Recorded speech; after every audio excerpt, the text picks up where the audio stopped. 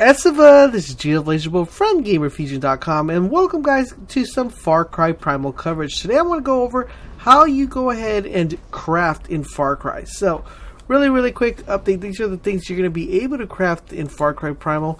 Now, we're going to go over each individual one, and I'm going to go over how you craft them and how do you find resources and all that stuff. So, this is pretty much your crafting tree. Uh, one thing you want to note is you'll notice each crafting, craft, crafting tree has a different character. For example, we have the first one, which is our main character, Takkar, and then we have a second character that also has crafting equipment, and then we have a third character, a fourth character, a fifth character, and a sixth character. So each of these individual characters will give you the abilities to craft each individual weapon.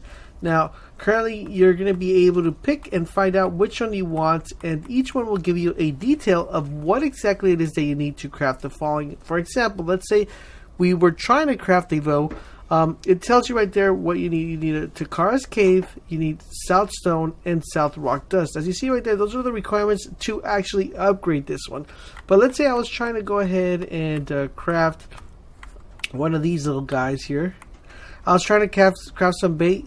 Currently, right now, it doesn't allow you to craft because you need to actually unlock a mission to craft. So some of these are mission locked, some of these are not mission locked. For example, this one, Kapala Shard. This one specifically is a item that you actually you get from the Ubisoft Club. So you're going to be able to get this one if you want to go ahead uh, and get this one. Now, this one's also mission locked. And as you see right there, if I wanted to actually do this one, this one I could because I've already done a whole lot of the mission. But I need this following. I need the Takkar Cave. I need animal hide, which I already have, and bee clusters.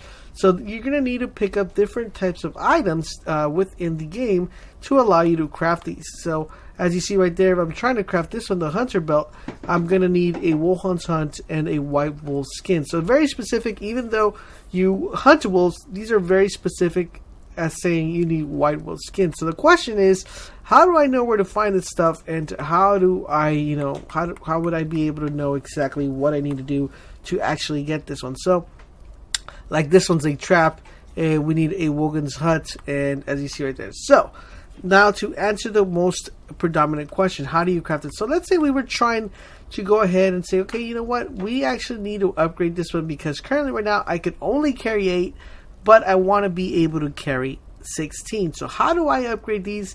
How am I able to actually upgrade that? That's actually a very easy question to answer. What you're going to want to do is you're going to go to your maps, and once you guys progress through the maps, as you see right now, currently my maps only show the current location, my waypoint, which is where I have to go, and it shows you a vast majority of the map, right? So it'll show you the whole entire map within Fallout. But for this particular area, we're trying to go ahead and craft this, uh, craft this something that's going to allow us to actually carry more more arrows. That's 16 arrows. I mean, that's a big upgrade, right? That's double. So we need skins. So what we need to do is actually find dholes. So very easy to do. We just got to go through the map and it will be highlighted. So for example, this is a boar. We need boar skin. We're actually going to need boar skin to actually uh, upgrade one of our spears as well. So there we go. We found Dhole, and it says a wild dog that hunts in packs. Easy award skin special temple required Beastmaster skill. So, for example, if we want to go ahead and uh, pretty much uh, tame him, we're going to have to require a skill. But right now, what we're going to want to do is just pretty much hunt him and get three of them. And once we are actually able to get all three of them, we will then be able to come back to our crafting station, go to go to our our bow here, and upgrade this and be able to upgrade our bows and arrows to actually 8. And as you guys know, a cool thing about this, it tells you how many upgrades you can do to each specific section. So for example, this one has up to 4 upgrades, the bow and arrow has up to 2 upgrades, the club has up to 4 upgrades, and each upgrade tells you exactly what it's able to do. For example, this one says if you upgrade it, it becomes, you, you upgrade it to rapid fire, if you do this one, it says currently damage is 3, duration 4, agility 4, but if you upgrade it, you swing to hit multiple enemies, stun enemies when throwing, and then you're also able to upgrade it to damage 4, durability 4, and agility 5. And each one has its in, each individual aspect of it. It also has different specials. Uh, for example, this one has the highest damage when thrown, damage 2, duration 3, uh, and so forth and so forth. So, for example, as you said, you know how I was saying, if you want to go ahead and upgrade uh, what you're able to carry, you're also able to get this if you get more boreskin. So, for example, right now I'm only able to carry two baits, eight meats, and eight animal fats. With this upgrade, I'm able to carry three baits.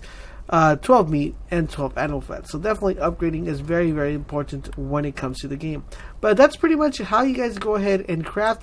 You're gonna gonna go through each individual skill tree, try to find out exactly what you want to upgrade and what road path you want to take. For me personally, my favorite would probably be having as many weapons as possible and having them upgraded so when I go to fight higher ranked enemies, I am able to actually stand a chance to kill them.